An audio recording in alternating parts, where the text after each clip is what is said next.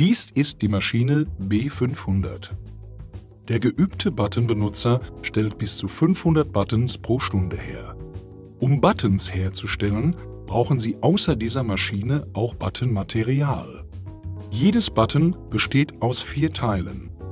Die Vorderseite, die Hinterseite, die Drucksache und die transparente Folie, die wir Mylar nennen. Die Drucksache können Sie einfach schneiden mit dem speziellen Kreisschneider. Sehen Sie sich das Instruktionsvideo an. Fast jede Papiersorte ist geeignet.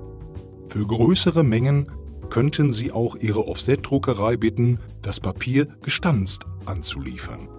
Die Buttonmaschine B500 hat zwei feste Matrizen. Matrize 1 ist für die Vorderseite des Buttons. Auf der blauen Grundplatte steht die Ziffer 1 neben der Matrize. Legen Sie das Blech in die Matrize. Legen Sie die Drucksache auf das Blech. An der Oberseite der Matrize sehen Sie zwei kleine Streifen.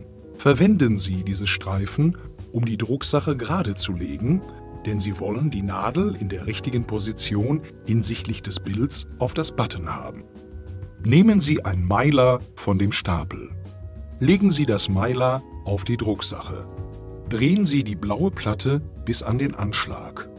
Matrize 1 befindet sich dann genau über der oberen Matrize.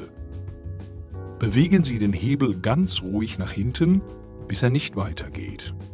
Die Vorderseite des Buttons ist jetzt fertig und diese bleibt in der oberen Matrize. Legen Sie jetzt die Hinterseite in Matrize 2 mit der Nadel nach unten. Verwenden Sie jetzt auch wieder die Merkzeichen auf dem Rand der Matrize, um die Nadel in die richtige Position zu bekommen. Drehen Sie die blaue Platte bis an den Anschlag. Matrize 2 befindet sich jetzt gerade unter der oberen Matrize.